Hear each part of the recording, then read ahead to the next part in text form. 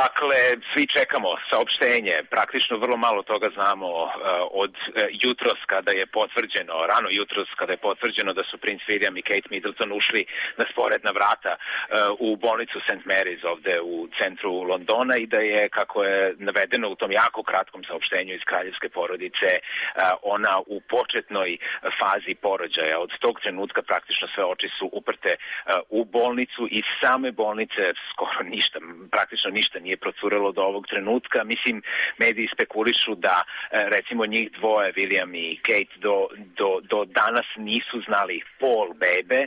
To je jedna e, spekulacija, dakle nezvanična, koja se provlači kroz medije. Druga je da e, je njoj termin za porođaj bio prošle nedelje i da je, dakle, ona za nedelju dana, evo kako se to kaže, prebacila termin pre nego što je danas otišla u bolnicu i, i, i započela je ceo proces.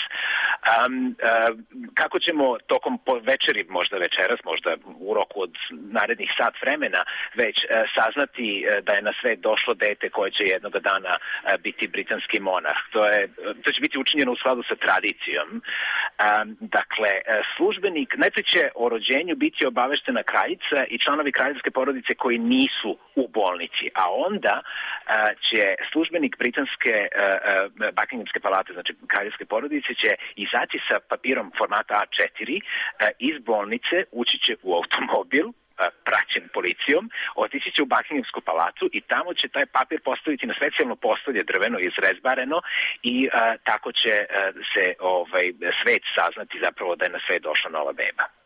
Dene, da li ovu ogromnu euforiju prave samo mediji ili su i građani Velike Britanije iskreno uzbuđeni zbog dolaska novog naslednika krune? Ja, ja bih rekao da većina ljudi se ovome raduje u ovoj zemlji. Možda nije e, stepen euforije tako veliki kao što biste mogli da poverujete gledajući medije koji su opet mnogo energije, mnogo novca, mnogo planiranja uložili u pripremanju za, za, za izveštavanje o ovom događaju, tako da sad sve to koriste, jeli?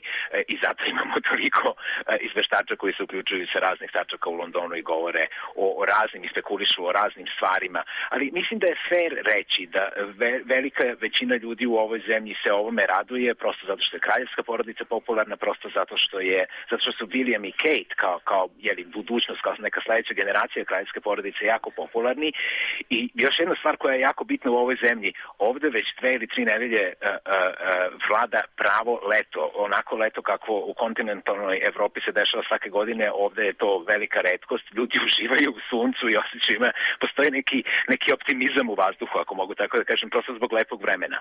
Bez obzira na sve to postoji naravno postoji grupa intelektualaca uh, u ovoj zemlji koji se protive monarhiji, koji misle da monarhiju treba ukinuti, da uvesti republiku i oni ovaj dan koriste da kritikuju monarhiju i da kritikuju medije koji ovome posvećuju tako puno prostora.